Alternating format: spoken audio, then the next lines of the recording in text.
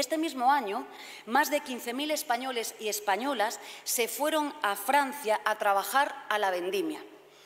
¿Me puede explicar eh, que miles de personas se vayan a trabajar muy lejos de su casa si, como usted dice, las empresas no tienen trabajadores aquí?